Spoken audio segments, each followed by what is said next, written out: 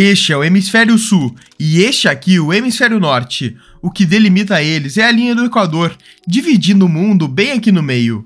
Ambos hemisférios têm o mesmo tamanho, mas o hemisfério norte é cerca de 16 vezes mais rico do que o hemisfério sul, dado que toda a riqueza produzida anualmente aqui beira 88 trilhões de dólares, e no hemisfério sul beira apenas 5 trilhões de dólares. E não acaba por aí pois se dividirmos os continentes entre sul e norte, vamos ver o mesmo padrão. Aqui na América, o hemisfério norte é quase 10 vezes mais rico do que o sul. Na África, o hemisfério norte também é 3 vezes mais rico do que o sul.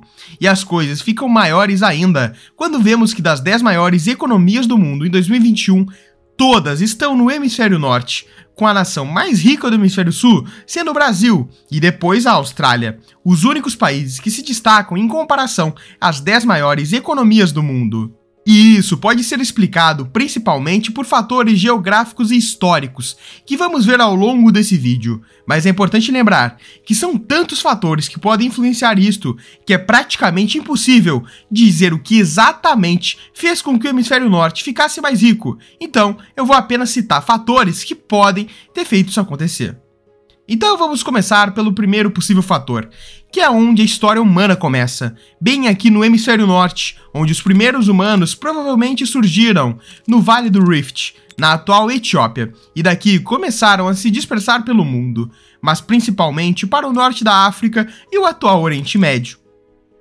Onde surgiram as primeiras civilizações ao longo da crescente fértil, uma região extremamente cultivável que deu origem às civilizações mais primitivas, que posteriormente multiplicaram-se ao longo do mar Mediterrâneo e da Ásia Central, fazendo assim com que as primeiras civilizações mais desenvolvidas prosperassem exatamente no hemisfério norte, onde ocorreu a maior parte da história das civilizações e, portanto, se criou ao longo dos séculos mais tecnologia e principalmente uma força de trabalho maior, ou seja, uma população maior.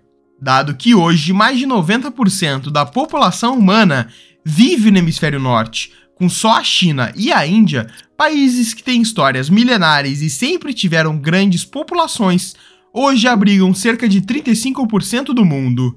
O mesmo acontece com a Europa e o Oriente Médio. Um outro fator foi a intensa exploração que houve até o século XIX na América do Sul e principalmente no sul da África, mais intensamente até o século XX na qual potências europeias lutavam por recursos naturais presentes nas suas colônias. Na verdade, até hoje, alguns países africanos ainda estão sob uma espécie de imperialismo do século XXI. A França, por exemplo, aplica imposto para alguns países africanos e até cobra taxas para cunhar as moedas de 14 países na África. Além disso, outro dos principais fatores históricos que explicam essa discrepância entre norte e sul Talvez seja quando a Revolução Industrial estourou na Europa no século XVIII, pois os países europeus conseguiram se industrializar muito rápido, fazendo com que conseguissem manufaturar produtos de maior valor agregado, comprados até hoje de muitos países do Hemisfério Sul. Isso funciona assim: os países mais pobres, que não ficam só no Hemisfério Sul, produzem produtos de menor valor agregado geralmente, e conseguem vender mais facilmente no mercado internacional justamente por preços mais competitivos. Isso acontece por conta da mão de obra mais barata dos países mais pobres. Já os países desenvolvidos, que estão majoritariamente no norte, compram esses produtos, manufaturando eles, por ter uma melhor estrutura, e vendem novamente para todos os países do mundo. Agora imagina isso acontecendo há mais de 200 anos sem parar. E todos esses fatores históricos só puderam acontecer por conta também de fatores geográficos. Um deles é a disponibilidade territorial, porque entre o hemisfério sul e o hemisfério norte existe uma grande discrepância de terras, pois cerca de 81% da parte sul é composta por água e na parte norte, cerca de 60%. Isso fez com que durante a formação geológica e biológica do globo, a quantidade de terras produtivas ficassem majoritariamente no norte. E esse é um mapa que retrata muito bem isso, pois ele mostra as áreas de maior cultivo do mundo. Aqui no hemisfério norte existem quatro grandes áreas: a Península Indiana, a costa leste da Ásia, a Europa e a América do Norte. Todas essas regiões têm mais de 50% de terra ideal para cultivo, e são algumas das mais produtivas do mundo. Enquanto isso, se olharmos no hemisfério sul, não existe nenhuma grande área de terra de cultivo, apenas pequenas regiões, como é o caso do norte da Argentina, sul do Brasil e o sul da Austrália. Mas além disso, existem apenas algumas poucas terras que podem ser produtivas, como é o caso do centro-oeste brasileiro e partes da África. E na verdade, com o desenvolvimento científico, o centro-oeste conseguiu se tornar uma das regiões mais produtivas da América. E além dessas áreas do hemisfério sul, existe outro grande problema, que são as terras que são impossibilitadas de produzir. Porque no mundo todo existe um padrão, como aqui na linha do Equador, que foi exatamente onde se formaram as maiores florestas tropicais do mundo, sendo elas a floresta do Congo, a Amazônia e as florestas da Indonésia. Por outro lado, as regiões mais secas do mundo se formaram na latitude de 30 graus, norte e sul. É por isso que aqui no hemisfério sul tem o deserto da Austrália, o deserto da Namíbia e por fim o deserto do Atacama. O mesmo acontece no hemisfério norte, que possui o gigantesco deserto do Saara, o deserto da Arábia e tantos outros desertos. A questão aqui é que o hemisfério sul tem menos disponibilidade de terras e, portanto, obviamente vai ser mais prejudicado se sua pequena área for coberta por áreas que não podem ser tão exploradas, como os desertos e as florestas. Por exemplo, a Amazônia cobre incríveis 6 milhões e 700 mil quilômetros quadrados. Isso é literalmente cerca de 38% de toda a América do Sul. Já aqui na África, a soma desses desertos cobre uma área semelhante ao tamanho da África do Sul.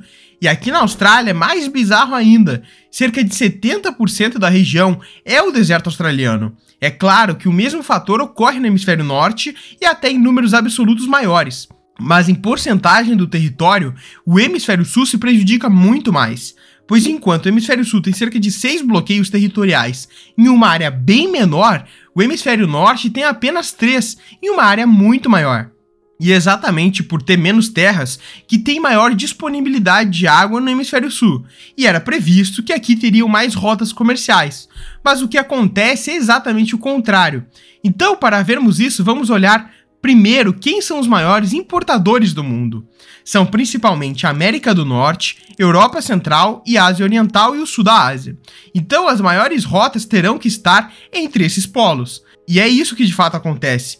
Existem, por exemplo, algumas formas dos produtos irem do Oceano Atlântico até a Ásia, ou vice-versa, por via marítima, ou pelo sul da África, ou pelo Canal de Suez, ou pela passagem do Noroeste, ou pelo Canal do Panamá, ou por fim pelo sul da América do Sul. Mas definitivamente podemos cortar essas duas rotas, porque pouquíssimos navios passam por aqui. Então nos restam três. E adivinhe só quais são as mais utilizadas? Justamente as que estão no hemisfério norte. E poderia não ser assim, porque essa rota pelo sul da África era mais utilizada no mundo no século XIX, mas o canal do Panamá e o canal de Suez foram criados por mãos humanas, deixando as rotas pelo sul menos interessantes para os navios. E assim, o hemisfério norte detém quase o monopólio das rotas marítimas do mundo. E é por conta de todos esses fatores que o hemisfério norte conseguiu se tornar mais rico do que o sul. Mas é claro que não poderiam haver apenas fatores ruins. O hemisfério sul ainda assim é o mais pacífico, já que durante toda a história humana, todas as mais importantes guerras do mundo ocorreram no norte. E mesmo quando a Segunda Guerra Mundial impactou o mundo todo, por exemplo, o hemisfério sul foi pouquíssimo atacado. A América do Sul nem chegou a ser atacada. Durante a Segunda Guerra, o norte da África foi extensamente atacado, o que não aconteceu com o hemisfério sul. E ainda assim, a Austrália também foi atacada algumas vezes, mas nada se compara aos ataques nos seus vizinhos do hemisfério norte. E esse foi o exato motivo pelo qual o hemisfério norte é mais rico do que o sul. Eu vim te mostrar o nosso novo canal sobre geopolítica, que justamente essas imagens que você está vendo são de lá. Então eu vou deixar esse vídeo aqui que acabou de sair para você assistir. É só clicar no vídeo que está aparecendo na sua tela e você vai ver o nosso novo canal.